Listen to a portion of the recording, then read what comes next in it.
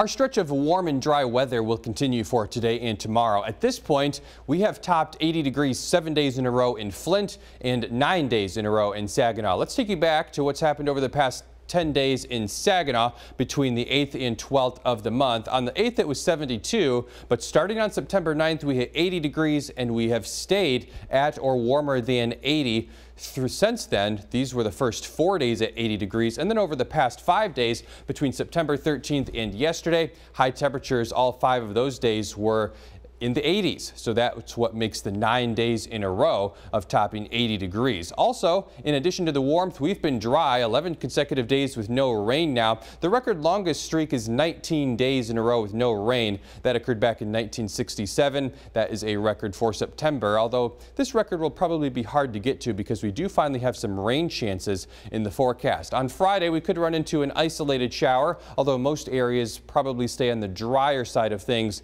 The weekend looks dry Early next week, Monday and Tuesday, that's when we have a little bit better chance of a few rain showers heading in our direction. The temperature trend here for the next five days in Saginaw does show readings staying above the 80 degree mark. And that is notable because of this right here. Check this out. Like I mentioned, nine days in a row now with 80 degrees or higher in Saginaw. The record longest during the month of September is 10 days in a row. That occurred back in 1921. So we have a shot at tying this record today and then perhaps breaking the all-time record for the most 80 degree days in a row during the month of September as we go forward. Now fire danger is going to be in the high category for today. That's because of the warm and dry weather that's ongoing. So caution is advised if you have any outdoor burning plans here for the next couple of days. For today, we'll see high temperatures climbing into the 80s. And watch as we move forward here, I'm going to show you tomorrow's forecast, which also has highs in the low to mid 80s. And then on Friday, we should still top 80 degrees.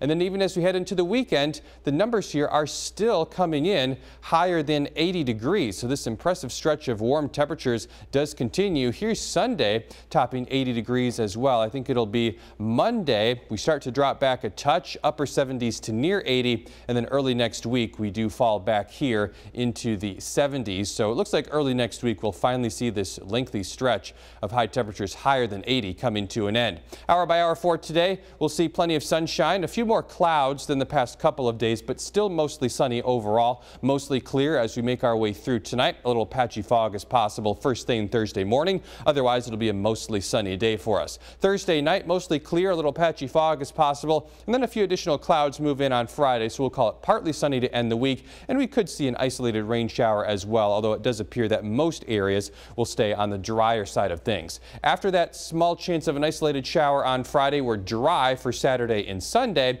and then early next week, Monday and Tuesday, here come those rain opportunities eh, coming in our direction, and that is reflected now in the extended outlook. So as we show this to you, we'll be in the low 80s, mostly sunny skies today and tomorrow. Friday, partly sunny with an isolated afternoon shower possible. Saturday and Sunday, partly sunny, still favoring dry weather for the weekend. Again, high temperatures at or slightly higher than 80 for the next five days. And then we'll drop back a little bit with a few rain showers possible Monday and Tuesday. Highs in the mid to upper 70s.